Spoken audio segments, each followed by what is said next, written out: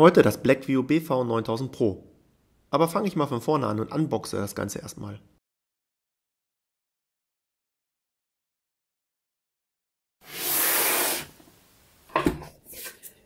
Das Handy selbst kommt ja später im Detail. Eine Ersatzfolie für den Screen ist dabei, ein paar Seiten Text, ein SIM-Kartenpricker und ein USB-C-Adapter von Micro-USB. Ein Fingerring, den klebt man hinten auf das Handy und kann ihn dann als Stand benutzen oder den Finger durchstecken. Dann verliert man das Handy nicht mehr so schnell. In China ist das voll in. Dann ein USB-C nach USB-Buchse-Anschluss, zum Beispiel für einen USB-Stick. Ein USB-C-Ladekabel. Ein Ladegerät mit bis zu 12 Volt und 2 Ampere Ladestrom für schnelles Laden. Ein bescheidener Kopfhörer mit 3,5 mm Klinke und Apple-like ein Adapter von USB-C auf Klinke, da das Phone selber keine Klinkenbuchse mehr hat.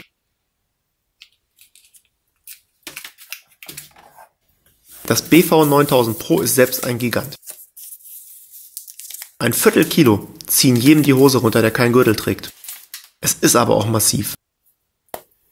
Eine Displayfolie ist vorinstalliert und schützt das Gorilla 5 Glas. Äh, warum ein kratzfestes Glas verbauen und dann eine Folie drüber machen? An den Seiten sind Metallapplikationen, die sehr gut verarbeitet sind und sich sehr wertig anfühlen. Kein Plastikmüll, sondern echt solide.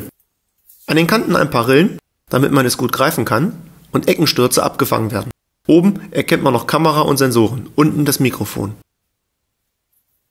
Die Stecker oder Buchsen sind hinter Verschlussgummis, damit die IP-Schutzklasse realisiert werden kann. Auf der Rückseite ist noch eine Metallplatte, die die Kamera und den Fingerabdrucksensor schützt. Wo andere die Gehäuse zusammenklipsen, sind hier jede Menge Schrauben verbaut.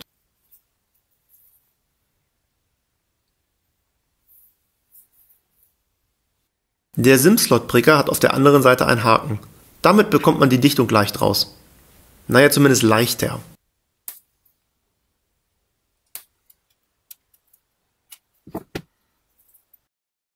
Der SIM-Kartenhalter ist typisch für Dual-Nano-SIM oder für eine Nano-SIM und eine Micro-SD-Karte. Dann entfällt aber die zweite SIM. Ich mache nur eine SIM rein und danach muss man das Ganze wieder ganz, ganz fest verschließen, damit der Gummi gut und wasserdicht drin sitzt.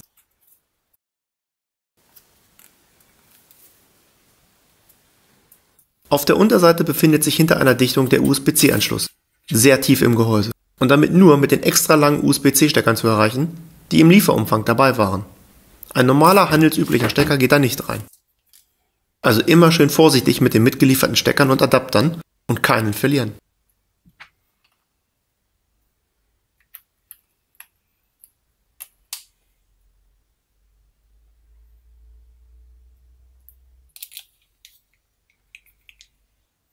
Mach ich's mal an.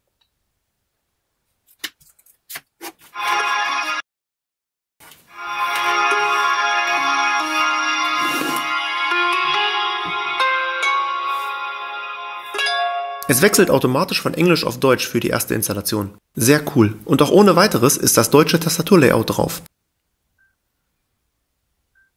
Die Einrichtung verläuft unspannend und Android-typisch. Der Blackview-Skin ist recht dunkel. Die normalen System-Icons sind rundlich und mit einem metallischen Look versehen. Ab Werk ist wenig Junk drauf. Google-typische Sachen und eine Kompass-App zum Beispiel. Aber sonst kein großer Müll. Schon während der ersten Installation von Apps meldet sich das System, dass ein Systemupdate zur Verfügung steht. Schön zu wissen, dass Blackview zumindest ein paar Bugfixes durchführt. Ich denke jedoch nicht, dass Patch-Level-Updates zu erwarten sind. Ich lasse das Phone also mal alles laden und teste in der Zwischenzeit den Fingerabdrucksensor. Habe ihm meine beiden Zeigefinger beigebracht, da seine Lage dazu am besten geeignet ist. Die Erkennungsrate liegt über 90% und er kommt auch aus dem Tiefschlaf in circa einer Sekunde hoch. Nur ab und zu überlegt das System dann doch drei Sekunden. In der Zwischenzeit ist das System geupdatet und meine Tests-App drauf. Sophos Antivirus findet die Kompass-App als, naja, fragwürdig zumindest. Findet aber sonst keine Probleme im System. Das gleiche sagt Antivir. Alles grün. Etwas erschrocken war ich dann von den nur 5-Finger-Erkennungssystemen. Nicht, dass ich 10 Finger auf dem Display überhaupt unterbringe. Jedoch ist es schon so ziemlich Standard. CPU-Z zeigt, was die Verkaufsdaten auch schon gesagt haben. P25 Helios, 128 GB Speicher und 6 GB RAM.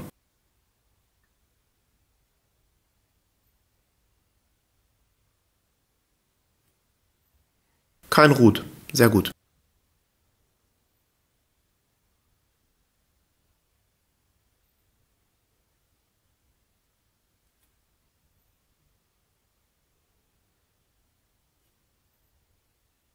An Sensoren wird eine Menge angezeigt.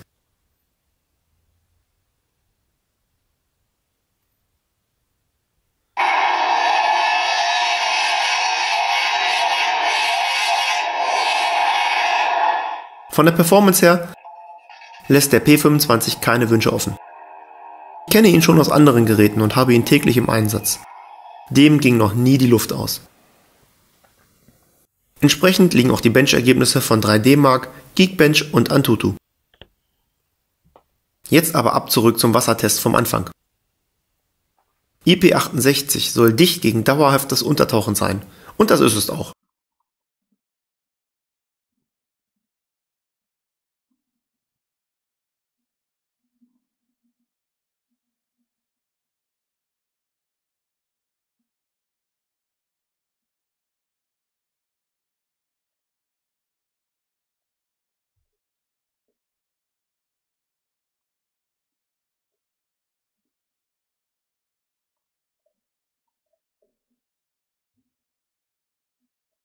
Selbst das Display lässt sich unter Wasser noch bedienen.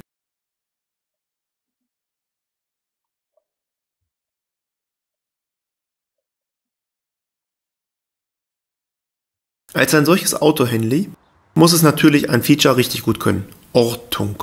Nebenbei, das Display spiegelt ist mir nicht neu und ist hier natürlich auch nicht anders. Also schauen wir mal, wie schnell eine brandneue App, die das erste Mal Zugriff auf die Ortungsdaten hat, braucht, bis der 3D-Fix steht. Das Video ist an dieser Stelle in Normalgeschwindigkeit und nach 10 Sekunden ist der Fix vollständig da. Die Genauigkeit ging nur noch auf 2 Meter runter. Viel besser geht es nicht. Fazit. Wer wirklich was Robustes sucht, das schnell ist, einen großen Speicher hat und dem noch lange nicht die Luft ausgeht, dem kann man dieses Gerät ans Herz legen. Für den Alltagsnutzer eher jedoch weniger aufgrund des Gewichtes. Demo-Fotos von der Kamera gibt es auf meiner nextgeneration.technology Website.